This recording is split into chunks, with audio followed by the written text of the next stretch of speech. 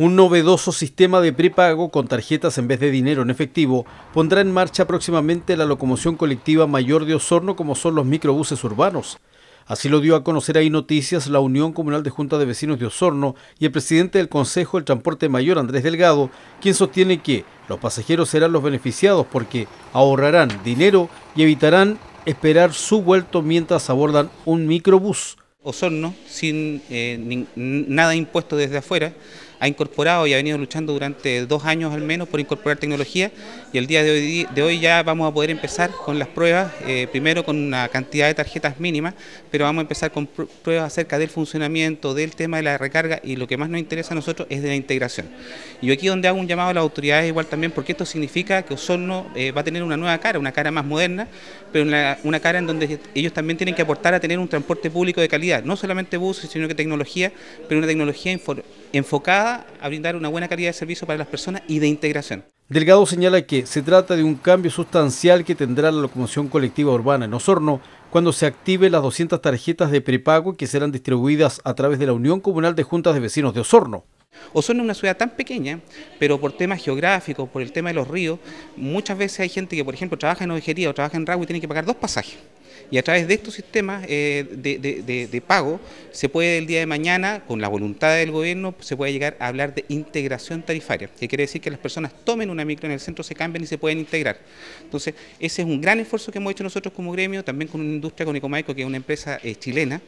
eh, y nosotros, bueno, defendiendo a los mismos empresarios de Osorno que pasen a este nuevo sistema, pero apelamos al ministro, hemos tenido reuniones con ellos en Santiago, ya se ha despertado la voluntad de ordenar, pero yo creo que ahora faltan las dos variables que incorpora la ley, que es calidad de servicio, que definitivamente para la gente son buses de mejor estándar, y tecnología, que es lo que hoy día estamos inaugurando. Las tarjetas, señaló Delgado, serán entregadas en forma gradual a fin de que en la práctica se vayan subsanando los errores y complicaciones que puedan presentarse en el camino nosotros estamos tratando de unificar a través de este medio, pero a la baja,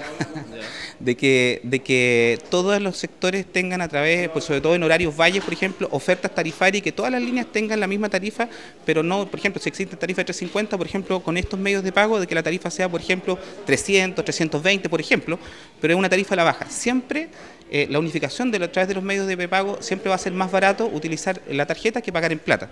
Entonces la unificación va, pero con un sistema electrónico, no, no con esta alza de tarifa que están, obviamente, una decisión que está tomando cada una de las líneas. El proyecto de los microbuseros de Osorno en conjunto con una empresa privada busca que en los tiempos puntas se cobre el valor normal, por ejemplo, entre las 7 y las 8.30 de la mañana, y posteriormente ante la disminución que se produce del flujo de pasajeros en el día, la tarifa bajaría como ocurre actualmente con el Metro de Santiago. Lo señala el gerente general de la industria electrónica que elabora el sistema Ecomaico, Pablo Moraga. Es un sistema muy parecido al que usa San Santiago, con la diferencia que es un sistema que se ha hecho a la medida de las ciudades regionales,